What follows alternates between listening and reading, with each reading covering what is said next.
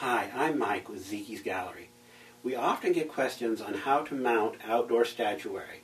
In this video, we're going to show you how to mount solid cast polyester resin statuary, such as our Mote Dragon here. This is our Merboy here. Uh, this is a, a, polyester resin or fiberglass resin. It is it's hollow cast instead of the solid cast like the Mote Dragon here. So there is a different way of mounting uh, the two different products, and I will show you how to do that.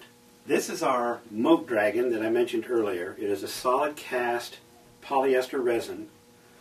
Here we've taken a, uh, a 3 8 inch drill bit and drilled a hole up into the bottom about, about 3 inches up. And we're going to insert a piece of rebar. You can get rebar at uh, your local building centers such as Home Depot and Menards. Comes in half inch and a 3 8 inch. In this case, uh, I've just taken a 12 inch piece and uh, ground it to a point.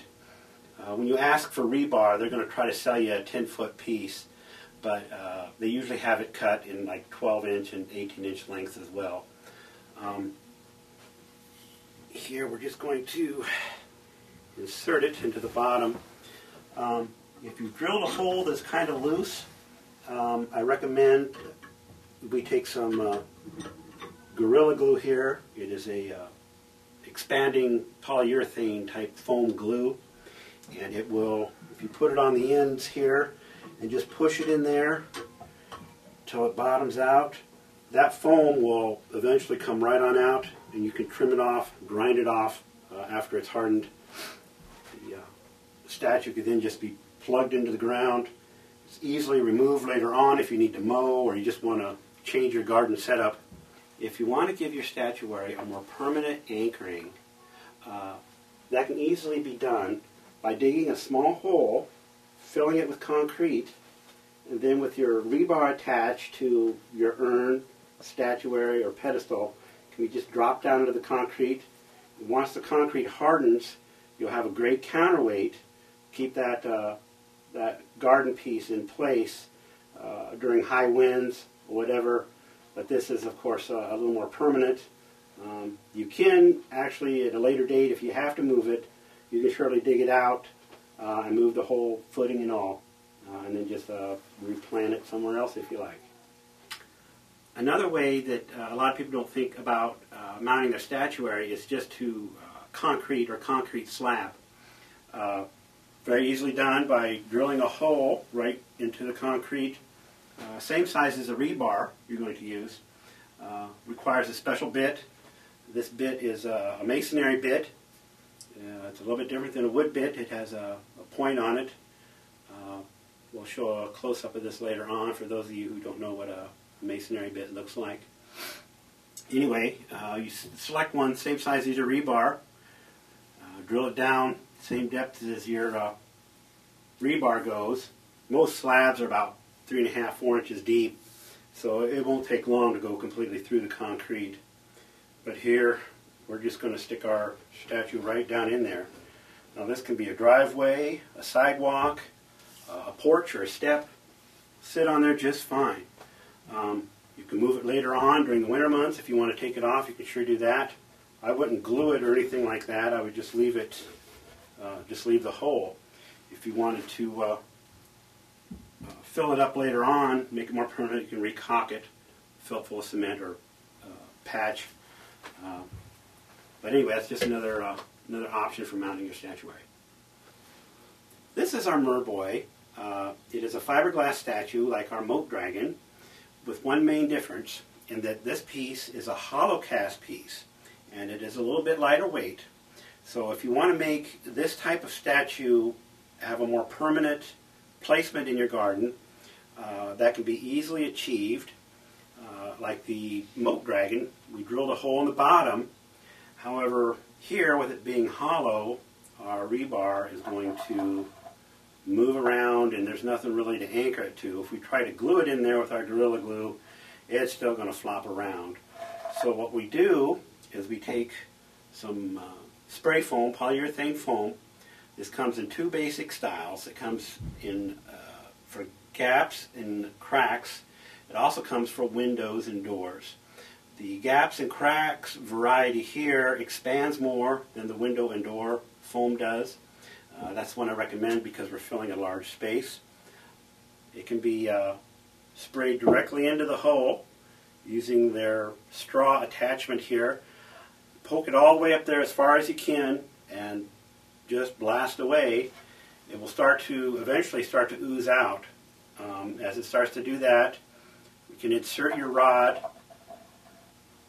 about three inches up into the piece. And I would also turn it a little bit to get it to adhere well to the, to the rod. And over the course of the next hour or so, um, the foam is going to try to push that rebar out. You can either come back every 15, 20 minutes and push it back in there and eventually it will stop creeping out. The other way to do it is to take uh, duct tape or some other strong tape to tape it and hold it into place. You'll also want to make sure that the rebar hasn't gone off to an angle like that and uh, just reposition it so it's straight up and down. After about 24 hours, the foam will harden enough uh, to be trimmed off. It will actually ooze out a little bit here on the bottom. Uh, you can take a utility knife or razor blade and just trim it off. I would put some caulking or paint or something of that sort uh, around that edge to keep it watertight. Um, we'll also show you here how to anchor or fill uh, open base bottom statuary as well. Here we have a pedestal that has a, a solid bottom on it. Um, we're going to uh, fill this full of cement and put rebar in it to make it more permanent. Uh, here we've taken a hole saw and drilled a hole in the bottom about two inches so we can get our concrete in there. Um, hole saw looks looks like that. This goes in a drill. It's a drill bit. Um, these come in various diameters. You can get them relatively cheap at uh, Harbor Freight Tools or any home centers. Um, after you have drilled the hole uh, out, you're going to get a little plug. Looks just like this, a little hockey puck. Um, we've taken our uh, 3 8 drill bit again and drilled for our uh, rebar to fit. Um, since our hole in our uh, hole saw is too small for the rebar, we just drill the hole a little bit bigger so it'll accommodate our rebar. Um, here we're going to fill it full of concrete. We're going to fill it all the way up just to this bottom bottom edge right here and leave this half inch uh, area open. Um, the reason for that is once we insert our rebar down into the concrete, we can take our little hockey puck here that we took out, bring it down, and let it uh, sit right on top of that concrete. The main reason for this is that this concrete that we have in here, if exposed directly to the ground, will wick uh, water up into it and could cause concrete to swell ever so slightly uh, when it freezes and it could crack the actual uh, fiberglass.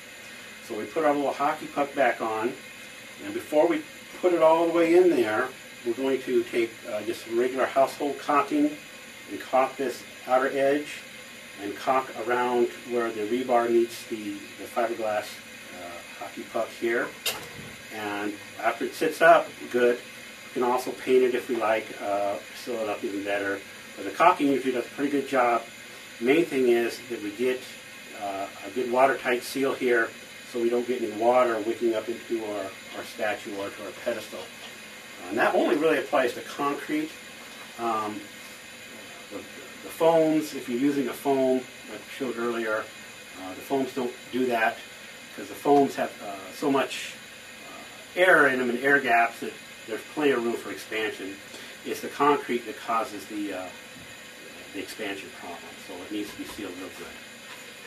This is uh, The Bird Girl by Sylvia Shaw Judson. When you first receive your Bird Girl, it's going to come in two separate boxes. One for the pedestal base and one for the Bird Girl. Um, it will need to be mounted uh, to the concrete base. so I want to show you how to do that. Um, the bird girl, when it comes from the factory, will have a 3 8 inch hole drilled into the bottom. And it will also have a little bit of a dimple here uh, that's the start of a 3 8 inch hole. And that will need to be drilled out uh, for you to mount the two pieces together. Um, here we're going to use a piece of 3 8 inch rebar. can be purchased from most home centers uh, in 12 inch lengths. Um, it's just going to be inserted into the bottom. Before we put it in there though, we're going to take a glue. Here we're using a Gorilla Glue. It's an expansive uh, polyurethane foam type glue. And once it goes in there, we'll put it on the edges, but once it goes in, it'll expand and grab, uh, grab that rebar real well. Um, from there, we're going to let it dry and come over here to our pedestal and take a 3 8 inch uh, hammer drill bit and uh, a drill. You can use a regular drill, you can use a hammer drill. Most of your uh, cordless drills nowadays have a, uh, a, hammer drill function and uh, we'll have to drill through here about an inch and a half. It is hollow. I'll show you that. And it is concrete. So it's going to take a little bit to get through it. Um, but once we have a hole in there and our bird girl has the rebar, um, we're going to insert the two pieces together um, and use our Gorilla Glue once again, put it on our rebar and slide the whole thing down so it becomes one solid unit. Uh, with the concrete base uh, and the two pieces together, it should be uh, pretty solid. When you order your statue, pedestal, or urn, you do have the option of ordering uh, these types of hardware, as we mentioned in our other videos, uh, rebar. Um, also, uh, you can get bolts installed. These would be fiberglass right up inside the, uh, the statue or the pedestal for mounting. Um, many people order a statue or a pedestal together at the same time in which case uh, a bolt like this or a threaded rod uh, would be installed at the factory. It would protrude out. Um, the pedestal would have a, a hole pre-drilled in it and pre-aligned. So all you have to do is just drop the bolt down in there, come up from underneath, put the nut on, you have the two pieces that are uh, perfectly aligned uh, at the factory. Um, another couple of options that they offer are uh, flanges, or I call them angle irons. They can be fiberglass on the inside, they can be fiberglass on the outside uh, for various mounting uh, purposes. Um, another way is uh, a threaded nut like this, sometimes, sometimes called a coupling, uh, can be fiberglassed up inside. So if you need to come up from the bottom, like a deck or a platform, you can bolt straight up into this coupling. And, and again, this would be fiberglass right inside the piece, and you can order it that way uh, from the manufacturer.